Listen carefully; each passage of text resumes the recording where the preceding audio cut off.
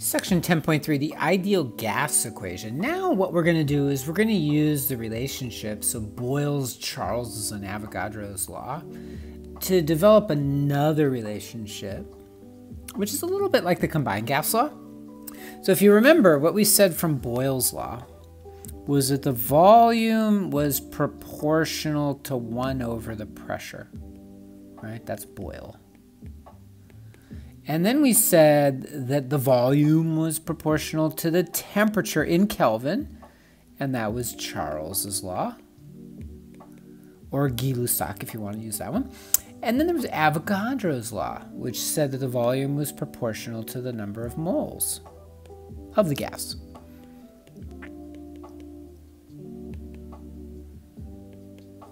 So what we're going to do is we're going to take these three proportionalities and put them together into one equation. And here's what we're going to do. We're going to write it this way. Volume is proportional to 1 over T. I'm sorry, 1 over P. But volume is also proportional to T. And it's also proportional to N. So you see how I've put all those together? So let me write this a little bit differently. I'm going to write it as NT over P. Okay? Then I'm going to say the following. To turn it from a proportionality into an equality, we're going to multiply it by some number that makes them equal. And I'm going to use the symbol R for that proportionality. And then I'm going to change it one more time by just changing the order in the numerator. nRT divided by P. So the volume of a gas is equal to the number of moles of the gas times a proportionality constant, R, times the temperature, T, divided by the pressure, P. Okay? This is sometimes called the ideal gas law or the ideal gas equation. Historically, it was called the perfect gas law. Okay. Now, let's talk a little bit about R. R is called the universal, meaning it works for any ideal gas constant. And the value of R depends on the units you use. If you use atmospheres for pressure and liters for volume, and we definitely want to use moles and Kelvin for N and, and T, the value of R would be 0.082057 it can take on other units as well, but that's the one that you'll use most of the time. Okay. Now, what I want to do is rewrite the equation by multiplying both sides by p, and then we get PV equals nRT. And you may have seen the uh, in high school or somewhere else, you may have seen this form of this ideal gas law. PV equals nRT. The pressure of the gas times the volume of the gas is equal to the moles of the gas times this universal gas constant times the temperature of the gas. Now, it is often the case that experiments are run under a temperature of 0 degrees Celsius, which in Kelvin would be 273.15, and 1 atmosphere.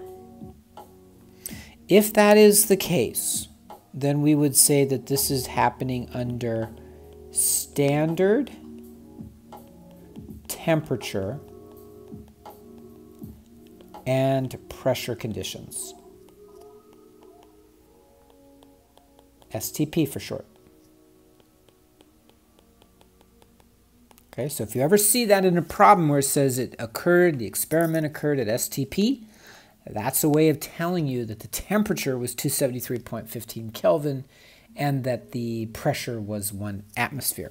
Now the significance of STP is that if you plug in the value of one mole of a gas, if you put in one mole, and you put in the 0.082057 atmosphere liters per mole Kelvin, so that's R, right?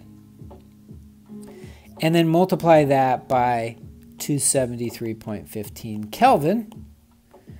And then divide that by one atmosphere. What you get is 22.41 liters per mole. Okay, actually you get 22.4 liters. Let me just put that in there as liters.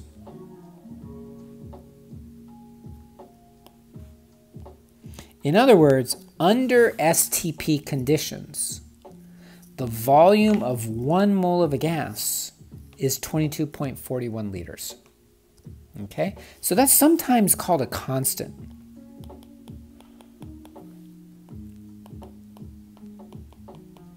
The volume of an ideal gas, if you have one liter, is 22.41 liters. So what happens if you have two moles? Or three moles or four moles? Well, if you have twice the amount of gas, according to Avogadro's law, you would have twice the volume. So what we can do is we can say that the volume of a gas at STP is equal to 22.41 liters per mole times the number of moles of the gas. So if you have 10 moles of gas, you would just say, okay, 22.41 liters per one mole. Multiply that by 10 moles, you'd get 224.1 liters. So that's a nice convenient relationship if things are occurring at STP. They're often not, but sometimes they are. Now another interesting relationship and useful relationship is the issue of density, the relationship between the density of a gas and its molar mass. So let's remind ourselves that density is mass divided by volume, right? And so notice that volume is in this definition of density, but it's also in the ideal gas law. So I'm going to write the ideal gas law down over here on the right. And notice that volume is in each of those equations. I'm going to take the dot off because there is a connotation of a dot over the V that I don't want to confuse here. Okay, so density is mass over volume in the ideal gas law, PV equals nRT. Now there's also another relationship, which is that the molar mass of a gas, or of any substance, of any pure substance, is the mass of the substance divided by moles. M for mass, N for moles. So notice this has mass in it as well. So density and molar mass both have mass, but they also, density has volume and molar mass has moles, which are two quantities, two variables, that you find in the ideal gas equation. So that's an interesting relationship. We can actually connect these three equations together. So there's different ways to go about this. I'm just going to show you one way, and you don't have to worry about doing this yourself. I just want to show you where I'm going to come up with it. The results are what are important here. And the issue here is suppose we did the following. Suppose we took this density equation and wrote it as volume is equal to mass over density, right? You see how we do that? We can multiply both sides by volume and then divide both sides by density. And then I'm going to substitute in that relationship or that ratio in here. So that now gives us P times M over D equals nRT. Interesting, right? Now I'm going to do another thing. What I'm going to do is I'm going to say, Okay, the ideal gas law also has moles in it, N, but so does molar mass. So let's do this. Let's put in moles equals mass over molar mass.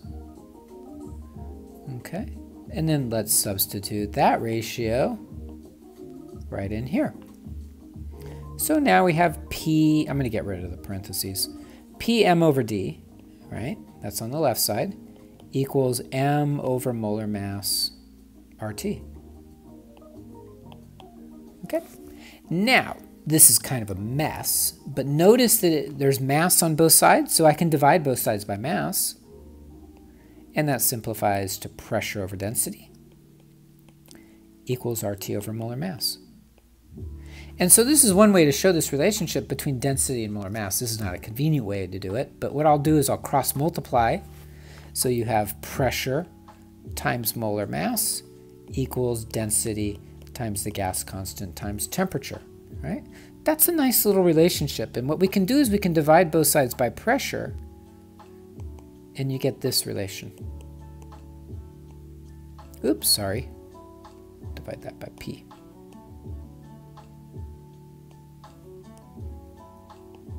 This is a nice relationship.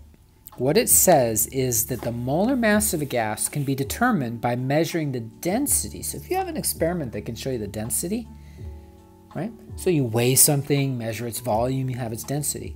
Multiply that by the gas constant R, which we know, 0.082062057, and then multiply by the temperature. So if you have a thermometer, you can measure the temperature. And if you know the pressure now, you have to measure the pressure maybe with a barometer or a manometer or some other way, you would know what the pressure is as well. And you could figure out what the molar mass of the gas is. Now remember, if you can know the molar mass of something, you can, you can maybe figure out what it is. For example, oxygen has a molar mass of 32 grams per, mil, uh, 32 grams per mole or carbon dioxide has a molar mass of 44 grams per mole. So this is a nice way, by measuring density, you can figure out what the molar mass is.